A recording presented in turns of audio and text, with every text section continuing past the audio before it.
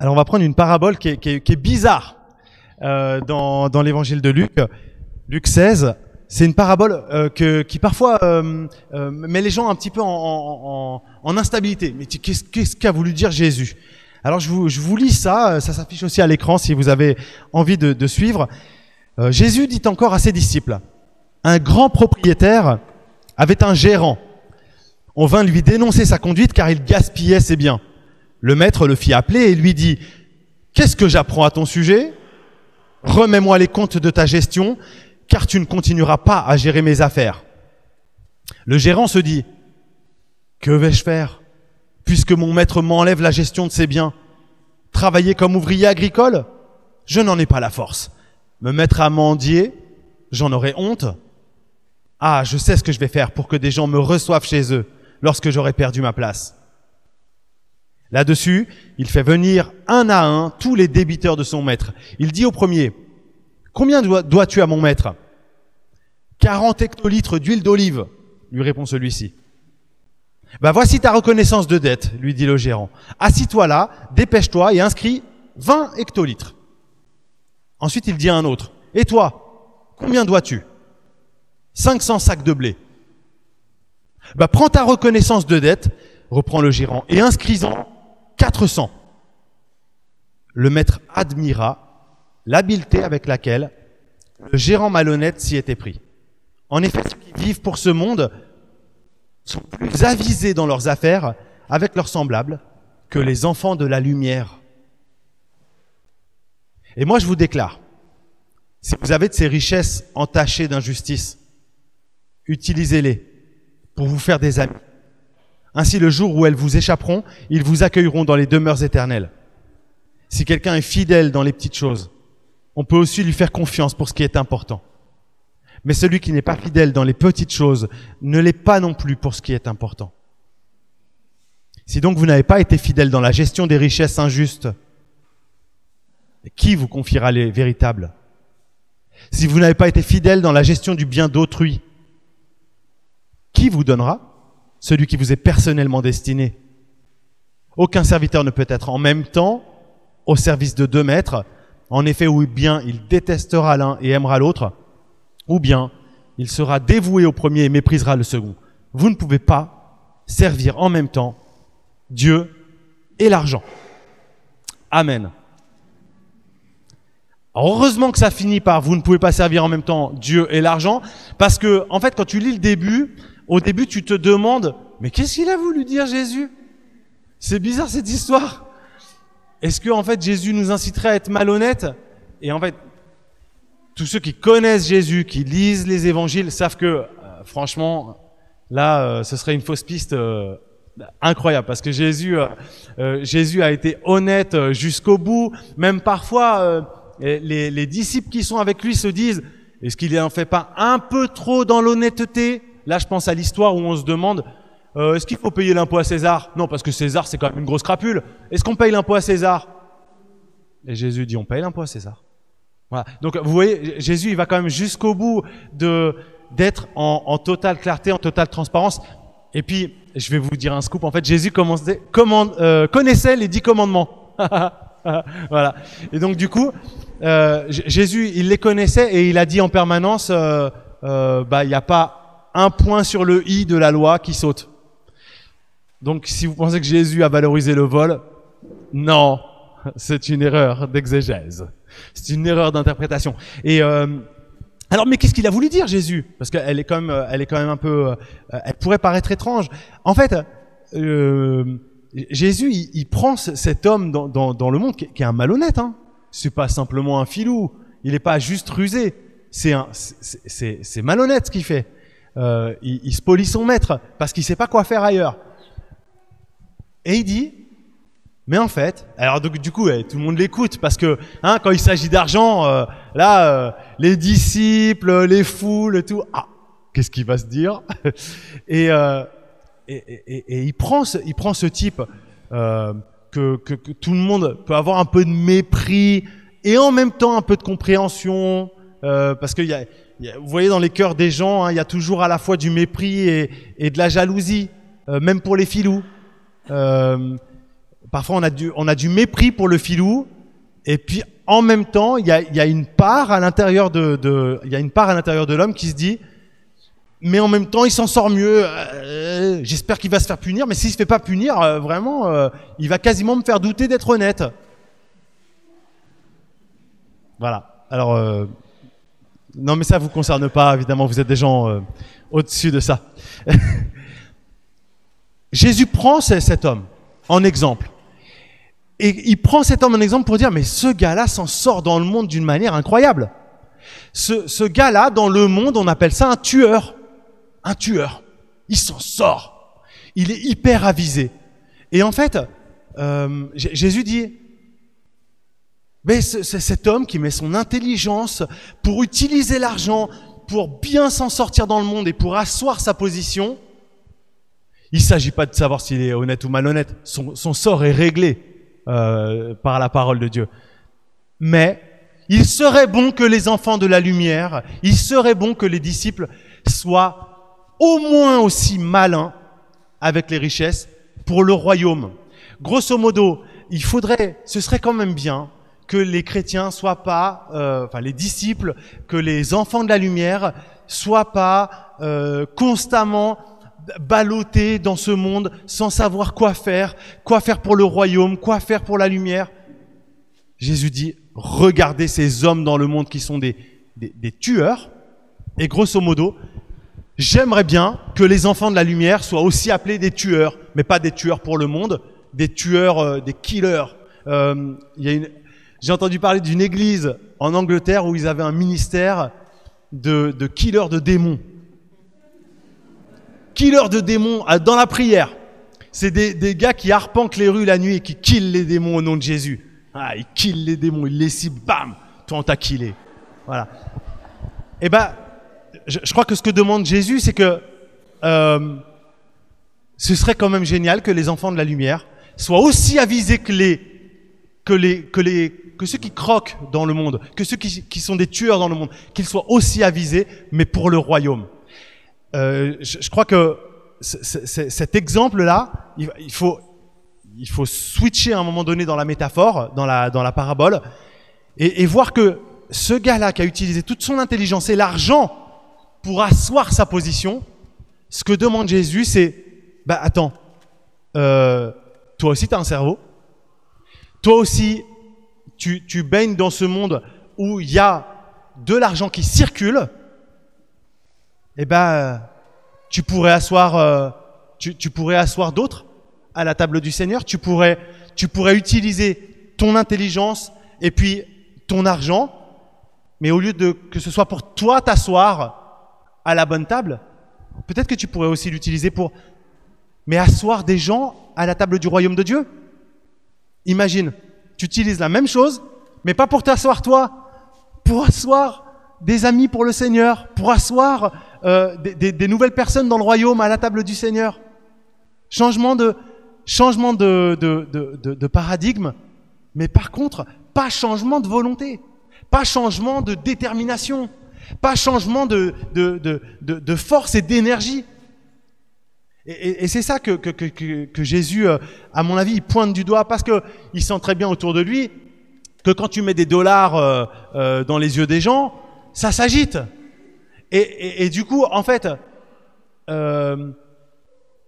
il prend, il prend, euh, il prend ce qui, ce, qui, ce, qui, vient être sensible dans le cœur des gens et leur dit, ok, mais imagine, tu as la même excitation là, tu as la même excitation pour le royaume que ce que tu as pour, pour les dollars à ta table, pour les dollars dans ton compte en banque. Imagine, la même force, la même puissance. Et du coup, c'est un discours qui, vis-à-vis des disciples, euh, a forcément un impact si le disciple est sincère dans son cœur. Qu'est-ce qui m'excite le plus? C'est des disciples, hein, ils suivent Jésus. Qu'est-ce qui m'excite le plus? Les dollars ou le royaume? Alors évidemment, n'importe quel disciple poli, n'importe quel disciple euh, euh, un minimum enseigné avec le Seigneur dit le royaume. Bah oui, c'est ce que tout le monde dit. Ah d'accord. C'est ce que tout le monde dit. Mais Jésus, il vient sur le faire. Il vient sur l'action. Il vient sur le thermomètre de la foi. D'accord mais en pratique, qu'est-ce qui se passe? Qu'est-ce qui se passe? Est-ce que tu vis pour ce monde ou est-ce que tu vis pour l'argent? Euh, je, je, réfléchis, pour être très concret, à notre utilisation de l'argent et à la manière dont on gère l'argent, euh, euh, dont on pourrait le gérer chacun d'entre nous et qu'est-ce qui se passe. J'ai l'impression que, pour être très honnête, euh, l'argent, il y a, y a, déjà, voilà, il y a la part qu'on veut pour soi-même, pour s'asseoir, pour s'asseoir, asseoir notre confort, asseoir euh, nos propres plaisirs. Là, c'est une part déjà, vous voyez, on, on, navigue quand même énormément dans le subjectif aussi, parce que euh, parce que euh, on n'a pas tous la même revendication de confort. Il euh, y, a, des gens qui n'ont pas besoin, euh, semble-t-il, de, de ils tripent pas sur du caviar. D'ailleurs, ils ont jamais mangé de caviar. Ils savent même pas le goût que ça a. Euh, donc, ils trouvent que les rillettes du Mans, ça va très bien. Voilà. Et, en fait, on a chacun notre, on a chacun notre niveau en fait. Voilà. Mais il y a les richesses pour soi, le confort pour soi, installer sa propre position. Je vais essayer de, de décoller un tout petit peu aussi de l'argent hein, à un moment donné dans, la, dans, dans, le message, parce que je pense que Jésus, euh, euh, quand il parle de l'argent, quand il en parle comme une puissance spirituelle, euh, finalement c'est au-delà de simplement le billet vert. Le, le, billet vert avec la tête de César, vous savez. Voilà. Euh, et il y a pour soi, il y a pour ses proches ça, c'est quand même, c'est quand même un, un, un c'est quand même un énorme sujet. Qu'est-ce qu'on fait de l'argent avec ses proches? Et, et, en fait, moi, je, je, je crois euh, que, que l'utilisation euh, euh, des biens avec avec sa famille, je, je crois qu'on a on a même des, des textes bibliques qui, qui parlent de ça. Qu'en fait, euh, l'attitude du père de famille, je pense à la parabole du bon Samaritain, euh, pas du tout, à la parabole du fils prodigue. Euh, la parabole du fils prodigue, donc c'est juste avant, hein, dans l'évangile de Luc, c'est Luc 15. En fait, dans la parabole du fils prodigue, on voit que le père, pour manifester l'amour, euh, l'amour de père, pour manifester son amour à son enfant qu'il retrouve, en fait, il dépense. Il dépense. Hein. Il tue le veau gras, il, euh, il appelle tout le monde et il fait une grosse boum pour son enfant qui est revenu. Et donc du coup, il, il, il investit financièrement dans la manifestation de son amour paternel pour son fils. Et, et ça, je pense que c'est quelque chose que, que, que naturellement, euh, on peut comprendre les uns et les autres. En fait, l'investissement de notre argent pour la manifestation de notre amour. Euh, moi, j'ai, voilà, je, je, je, crois que tous les cadeaux qu'on peut euh, s'échanger entre amis, quand il y a euh, un événement, quand il y a des anniversaires, quand il y a des choses comme ça, c'est juste en fait, comment tu utilises ton compte en banque pour pour dire quelque chose à quelqu'un. Tu lui dis je t'aime en fait. c'est tu lui manifestes ton amour. C'est ça qu'on fait. C'est ça qu'on fait. Euh, c'est ça qu'on fait aussi euh, dans dans l'utilisation de notre argent, euh, euh peut-être dans, dans les histoires de famille, avec dans les couples ou des choses comme ça. Est-ce que euh, est-ce qu'on part en vacances? Qu'est-ce qui se passe? Que, Quelles sont nos possibilités budgétaires? Et en fait, c'est que à un moment donné, on veut dire euh, soit, bah, par exemple, moi je veux dire à ma femme, ou je veux dire sur notre couple, notre couple vaut la peine euh, d'aller au restaurant, par exemple. Voilà. Et donc du coup, je lui fais un petit kebab et je lui dis, tu prends ce que tu veux. Généreux, quoi. Il faut savoir dépenser. Il faut savoir dépenser. C'est très important. Manifestez votre amour. Voilà. euh, je, crois que ce, qui est, très dans, la parole, en fait, là où on est où, il va y avoir quelque chose, même sur, la question vis-à-vis -vis de nos proches, c'est qu'en fait, il va falloir que, que, on trouve, mais à mon avis, c'est vraiment le Saint-Esprit. C'est comment on va faire pour manifester l'amour, euh, l'amour de Dieu, pour manifester l'amour dans la famille, l'amour qui circule, pour que ce soit une preuve d'amour et que ça devienne pas justement à la cette catastrophe de l'enfermement dans un dû et du coup dans l'asservissement de, de, de la puissance de maman de maman. Maman. euh, vous, vous, voyez ce que je veux dire, c'est que euh, on utilise l'argent pour asseoir euh, confortablement des, amis, des proches à une table et leur dire, tu vois, c'est parce que je t'aime qu'il se passe ça. Mais en fait, si l'argent, à un moment donné, devient une, barrière et que à la table, il y a quelqu'un qui dit non, c'est mon dû. Et ben en fait, c'est l'expression pourri gâté qui, vient, euh, qui me vient à l'esprit. Et, en, fait, c'est une manière de tuer avec l'argent ses, ses- ses propres enfants, euh, euh, son propre couple. Euh, vous, vous avez déjà entendu parler des, des les michetonneuses. C'est, non, les michetonneuses, non, non. C'est, les c'est, les femmes qui se font draguer pour de l'argent, qui se font draguer avec des avec des belles voitures, qui se font draguer pour euh, voilà. Euh, on, on connaît tous les, les et, du coup, mais et du coup, euh, pour qu'elle se fasse draguer avec de l'argent, il faut un homme et une femme. Hein, vous voyez. Donc du coup, la responsabilité est partagée euh, euh, dans, dans dans ce genre de, cas. C'est les enfants gâtés, c'est ce genre de choses. Et en fait, c'est des drames parce qu'après, c'est con- concevoir comme un dû quelque chose et le Seigneur est totalement oublié. Et, et du coup, c'est là qu'on se rend compte que l'utilisation de l'argent pour se faire des amis, euh, en fait, ça doit avoir un sens très très précis. C'est utiliser nos propres ressources pour manifester l'amour de Dieu, mais juste l'amour de Dieu. Pas euh, le confort qui viendrait prendre la place de l'amour de Dieu. Et du coup, j'en viens à un deuxième point. Il y a quelque chose. Là, je, pensais très fortement à, mes enfants ou, à- ma femme aussi, mais dans, les investissements que qu'à certains moments je fais pour euh, pour euh, pour le royaume. En fait, Jésus est ma vie. Jésus c'est ma vie. Et, du coup, c'est vrai que il y a des moments, où il faut que je fasse des choix qui, je sais, sont d'un point de vue confort. Euh, euh, comment? Vis-à-vis de mes enfants ou vis-à-vis de certaines choses qu'on a envie de faire en famille. Et ma femme fait exactement les mêmes aussi, hein, donc ça tombe bien. Mais euh, il y, a, des moments où on pourrait se dire attention parce que euh, je suis pas obligé de. Enfin, je voudrais pas que mes enfants à, l'adolescence euh, ou euh, quand ils seront adultes me reprochent d'avoir vécu dans mes convictions et de les avoir oubliés dans, un certain type de confort. Et ça, c'est une réflexion qu'on a, qu'on a posée. Et en fait, oui, mais, mais qu'est-ce que je veux offrir à mes enfants? En fait, en vrai. En fait, je, tout en trouvant la, bonne manière de le faire, je suis content que mes enfants sachent, apprennent et appréhendent le fait que nous vivons pour le royaume. Nous vivons pour le Seigneur. Et, pour l'instant, ça va bien. hein, euh, euh, je, crois que c'est vraiment un cadeau qu'on fait à ces enfants qui est, presque encore, euh, encore plus fort que de céder à certaines de leurs envies auxquelles t'as pas envie de cé- céder parce que tu as d'autres priorités. C'est un cadeau de pas céder à, certaines, euh, à certains caprices, à certaines envies de, nos proches et, de nos enfants, par exemple.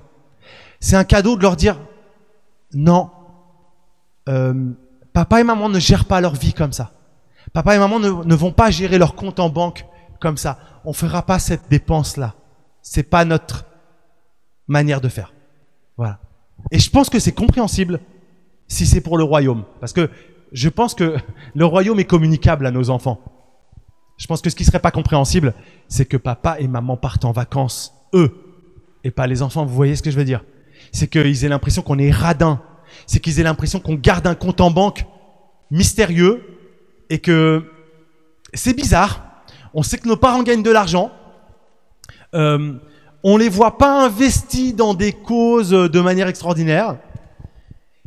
Et ils nous refusent certains plaisirs de la vie. On, on se demande pourquoi. Il doit y avoir quelque chose de caché. Ça, je pense que c'est incompréhensible. C'est incompréhensible pour des amis, c'est incompréhensible dans un couple. C'est, l'absence de transparence. Voilà. Et, et, et, et je pense que c'est vraiment un cadeau qu'on fait en fait à, à, à nos familles de pouvoir euh, expérimenter le fait que vivre pour le royaume, en fait, ça va, ça va même bien, ça va même bien. Euh, je, je, non vraiment, je, je, je, je, crois qu'il y a, il y a plein de personnes ici qui pourraient, euh, qui pourraient témoigner que, euh, en fait, euh, ce monde de maman, ce monde de la consommation, euh, n'offre des plaisirs que, que superficiels et puis que éphémères. et, et qu'en fait, quand tu as fait une croisière avec avec quelqu'un une année, mais en fait, il va se passer deux ans, trois ans, et qu'à un moment donné, faut que tu puisses, faut que tu puisses en faire une autre, peut-être même une, une mieux, si tu veux toujours réenchérir. Si, si, si le but est de, est de toujours réenchérir avec ses proches. Parce qu'en fait, le monde de la consommation, vous savez comment c'est Hein? Quelqu'un a déjà acheté un, un ordinateur Mac euh, après, il faut un portable Mac et après, tu des super écouteurs et après, tu des logiciels payants et après, euh, voilà. Bon, ce message n'était pas un message de pub pour Microsoft. En plein milieu de la prédication. Il sera coupé au montage euh, pour qu'on n'ait pas de problème avec euh, les gens de l'église qui travaillent chez Microsoft. Euh, mais en fait, c'est ça le monde de la consommation. C'est que c'est toujours davantage et qu'à un moment donné, une vie simple qui vit pour le royaume, le royaume se donne toujours de lui-même davantage. Je ne sais pas si j'ai été clair là-dessus. Euh, L'idée, c'est que quand on a investi pour le royaume et quand on vit dans le royaume, c'est le royaume lui-même, Dieu lui-même, qui descend toujours de plénitude en plénitude et qui nous fait vivre toujours de plus en plus de choses folles. Tu mets dans ta vie, je vais vivre une vie simple. Tu le partages avec ceux qui ont tes convictions et tu expliques pourquoi auprès de tout le monde. Évidemment, tu tu tu, peux pas euh, vivre ça euh, sans l'expliquer auprès de toi, auprès de tes proches. Tu dis je vis une vie simple, je vis pour le royaume. Eh ben, je crois que le témoignage de ceux qui font ça, c'est que euh, le, le, le royaume leur est donné toujours plus, toujours davantage. Ils vivent toujours de nouvelles expériences enrichissantes. En fait, ils s'enrichissent constamment pendant leur vie. Alors que celui qui vit pour les, les, les, richesses de ce monde, en fait, il y a de grandes chances que ses besoins grandissent toujours davantage. Que le challenge euh, de, de, de, de choses à s'offrir augmente toujours davantage. Voilà. C'est pour ça qu'il y a un choix vraiment à faire, un choix, un choix radical. Le, dernier chose que je voulais que je voulais partager sur l'argent en fait, mais c'est vraiment le cœur, c'est que Jésus présente le don comme comme le thermomètre, le thermomètre de ce qu'il y a réellement dans notre cœur. Et puis moi j'y pense particulièrement à, à Noël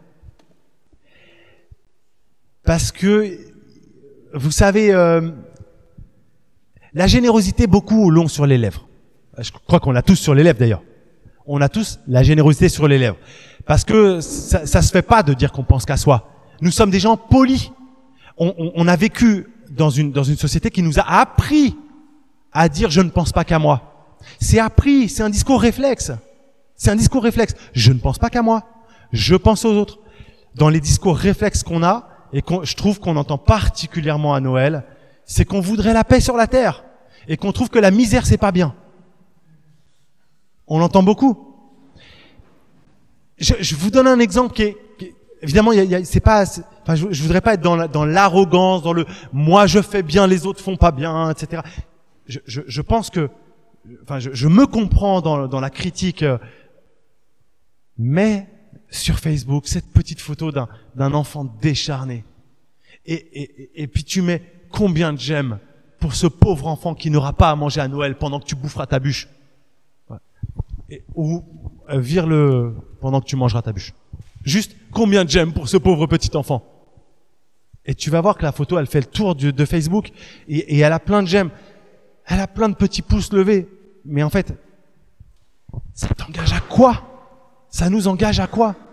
Et puis, toutes les chansons, les chansons sur la paix sur la terre, les chansons sur le fait que tout le monde ait à manger.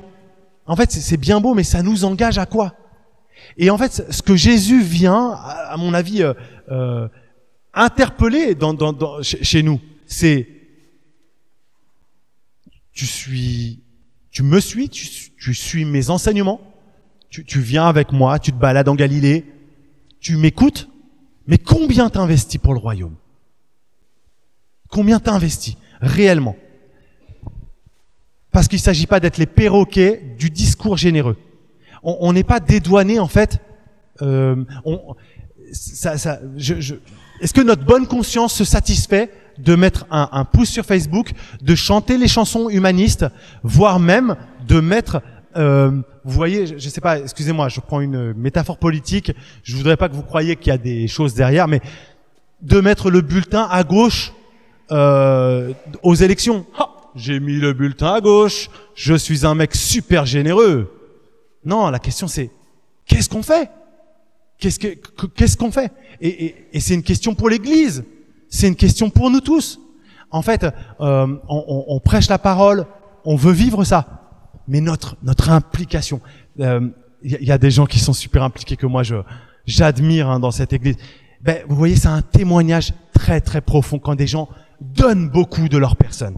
Quand des jeunes donnent beaucoup de leur personne, c'est c'est eux qui sont crédibles, c'est eux qui parlent, c'est eux qui témoignent. Et en fait, euh, ce sont des personnes dont, dont la, qui, qui, qui- diffusent quelque chose. Et c'est eux qui font que le royaume avance.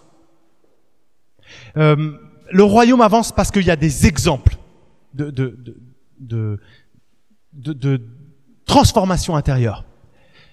À Dreux, l'église qu'on a pris en charge là depuis quelques mois, on se retrouve avec des familles de, de cette église qui font des trajets incroyables. Des gens qui font euh, trois heures de voiture chaque dimanche pour être au culte là-bas. Je pense à un couple de notre église qui fait trois heures de voiture pour être au couple là-bas. C'est incroyable, non? Je pense à un autre couple de notre église qui y va trois fois par semaine. Du coup, ils font six heures. Voilà. Et en fait, vous voyez là-bas, c'est ça qui a marqué les gens. C'est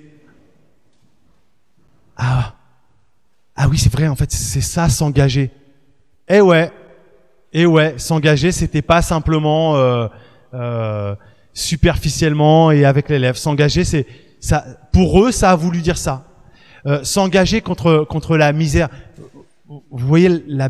Je sais pas si vous euh, si vous avez déjà entendu des bonnes des bandes sonores de, du discours de l'abbé Pierre euh, l'hiver 54 ou des choses comme ça. On peut taper sur YouTube ce genre de trucs. Mais l'abbé Pierre, il a, il, il a, il a touché les cœurs parce qu'en fait, il était auprès des gens, parce qu'il a, il s'était investi toute sa personne. Il avait mis son, il avait mis son cœur dans l'affaire. Et c'est pour ça qu'il est convaincant. Et c'est pour ça que le royaume avance. Donc le royaume avance. peut- le royaume peut pas avancer simplement avec des, avec des discours, euh, avec, euh, avec des lèvres. Le royaume, il avance parce qu'on investit pour le royaume, parce que c'est là où est notre trésor que, que sera notre cœur.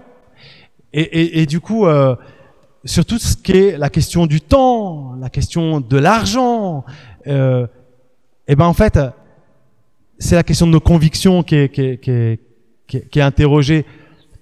Si au-delà de, de, de ce qui nous est nécessaire pour vivre, en fait, nos loisirs, nos hobbies, euh, je sais pas moi, par exemple, euh, euh, tu, tu aimes, tu aimes la, pêche, le péché euh, entre autres, mais la pêche, et tu t'achètes toujours euh, les, le nouveau matériel, euh, etc., etc. Tu dépenses beaucoup d'argent.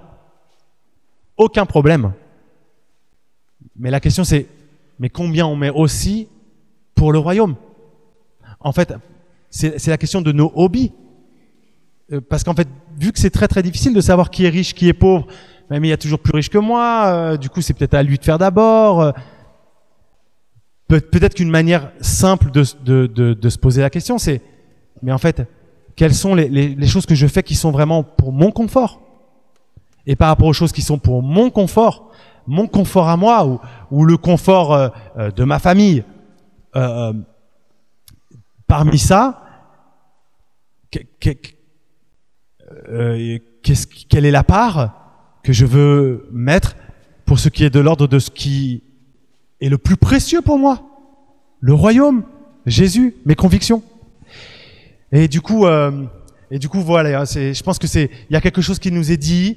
euh, si, si, euh, si on a la conviction et si on a le cœur déchiré quand on voit un pauvre dans- la rue, euh, quand on voit euh, une famille euh, SDF euh, avec avec les enfants qui sont sur le trottoir, je pense que ça nous déchire le cœur. Le grand malheur est que ça nous déchire le cœur que cinq minutes ou une heure. Euh, et, et ce qui serait un grand malheur, c'est que ça nous déchire pas le cœur au point de mettre l'argent de notre confort, l'argent de notre de nos hobbies au service de cette conviction et de et de cette émotion. Cette émotion, elle elle ne nous sert que si c'est un renseignement que Dieu nous donne pour savoir ce que nous devons faire de l'argent. Vous voyez ce que je veux dire? Si c'est une émotion passagère que nous traitons par euh, bah, finalement par la fuite euh, ou, même par des convictions de, langue, alors en fait ça n'a pas de ça n'a pas de ressort. Je je vais euh, je vais dernier point sur la question de combien on donne. Euh, vous savez que dans l'Ancien Testament, les, les, les, les, Juifs étaient, étaient appelés à donner la dîme, la dîme de tous leurs produits agricoles. Alors il y avait des, des, différentes, il y a plein de prescriptions, il y avait des, des offrandes dans tout un tas de situations, euh, et il y a des situations qui sont euh, qui sont compliquées à comprendre. Est-ce que euh, euh est-ce que ça correspondait aussi à, à ce que euh, à ce qui était donné comme en, comme on dirait les impôts d'aujourd'hui et avec une répartition, mais quel type de répartition, etc. En tout cas, dans l'Ancien Testament, on disait la dîme. Il est vrai que dans le Nouveau Testament, on ne dit pas la dîme. On ne dit pas la dîme. Dans le Nouveau Testament, euh, Jésus, au, contraire, il, dit, bah, moi j'ai vu des riches qui donnaient beaucoup, et j'ai vu une pauvre veuve qui arrivait, qui mettait une pièce, mais en fait qui avait mis tout. Et peut-être que, peut-être qu'en fait, euh, euh, peut-être que la dîme pour les pour les riches, euh, peut-être que c'est pas beaucoup la dîme pour les riches en fait. Et, et, et, et peut-être que la dîme pour pour des gens qui sont qui sont en galère, ben peut-être que ça paraît euh, que ça paraît énorme. Euh, je, je, crois que la dîme c'est pas un, un, c'est pas une loi. On n'est plus sous la loi. On est des chrétiens. On n'est pas sous la loi. C'est un indicateur. C'est quelque chose qui est, qui, est, qui est, donné. Moi, je trouve que c'est quelque chose qui est libérateur. Et je sais qu'il y, y, a beaucoup de chrétiens de cette assemblée qui se sont engagés sur la dîme en se disant, ben voilà, en, en attente de renseignements de qu'est-ce que je peux faire exactement je, m'engage sur la dîme. C'est une circoncision de mon, de mon portefeuille, une circoncision de mon compte en banque. Et je dis en début de mois, hein, parce que la dîme c'est en début de mois, pas à la fin. C'est pas à la fin de l'année sur la récolte de l'année d'avant. C'est dès qu'on récolte euh, chez les Juifs. Dès qu'on récolte, on donne les premiers 10%. C'est pas à la fin de l'année. C'est bon, il me reste un peu de blé pourri. Voilà, non c'est un indicateur qui permet de, de, se dire, dans la prière, j'attends des instructions et, voilà, je veux circoncire mon compte en banque, dire j'appartiens au Seigneur avec mon argent. Et du coup, c'est qu'il est le, démon de Mammon. C'est qu'il est ce démon. C'est dire, je ne veux pas de ta présence dans ma vie, je ne veux pas de ta puissance. Il faut la foi. Hein. Il faut Jésus pour euh, euh, euh, être épargné par ce démon parce que on peut très bien être très généreux et en fait se, justifier par nos propres œuvres, par nos propres dons. On peut très bien être tellement content d'être généreux en argent, hein Voilà. Euh, je, crois que chacun doit, euh, se poser la question euh, pour ses priorités peut-être même que c'est des sujets vraiment de, prière, de prière entre frères et sœurs. C'est des sujets sur lesquels il, faut lire la Bible, mais c'est un sujet qui est, mais qui est juste euh, vital par rapport à la crédibilité de notre conversion. C'est la crédibilité de notre conversion. C'est la crédibilité de notre conviction d'être né de nouveau. Oui, combien je m'engage En temps, en argent, en énergie. C'est-à-dire ce qui est important pour moi combien je le fais partager. Évidemment, il y a la question de l'Église. Si je crois que l'Église est cet endroit où on annonce le Rédempteur du monde, Jésus-Christ, ce qui est le, plus important au monde et à savoir pour les gens. Eh, combien je m'engage dans mon Église. Et puis il y a toutes ces, toutes œuvres, tous ces gens qui se battent euh, sur des causes, des causes et des causes. Et tu pourras pas donner sur toutes les causes. Mais quand il y a quelque chose qui te tient à cœur, c'est de, vraiment s'engager avec ce qu'on a. Sinon, on attendra toujours que ce soit des gens plus riches. Vous savez, euh, les crises sociales en France, c'est quand même aussi un peu ça, malheureusement. C'est que on voit que c'est dur pour, euh, pour, pour le peuple français. On le voit en ce moment que c'est dur. Moi, moi, je le vois à Dreux. Hein. Je vois que c'est dur. Mais en fait, dans ces situations-là, on, on, attend toujours que les très riches fassent quelque chose. Et tout le monde trouve quelqu'un de plus riche en se disant, il peut faire quelque chose. C'est les patrons du CAC 40 qui devraient euh, sortir la France de cette impasse. C'est quand même scandaleux. C'est les joueurs de foot. Ben pourquoi ils filent pas plus d'argent Eux, ils en ont pas beaucoup besoin. C'est quand même scandaleux de gagner autant pour taper dans un ballon. Mais non. En fait, Jésus nous invite pas à regarder, euh, à regarder aux plus riches que nous. Il nous invite, nous, à regarder combien il t'a béni, combien il t'a donné, combien il a sécurisé ta vie, combien même dans les périodes d'indigence, il est là, il te soutient, il t'encourage, combien dans les périodes où, ta famille est dans la disette et où tu sais plus exactement où tu vas aller, mais tu n'es pas à la rue, tu n'es pas à la rue, il est présent. Et à partir de là, à partir de la considération de sa générosité, de sa bonté, se dire, mais oui, je dois vivre pour lui. Je dois vivre pour lui et vivre ma vie en conséquence. C'est la question des conséquences. Le Seigneur nous interpelle tous sur la question des conséquences.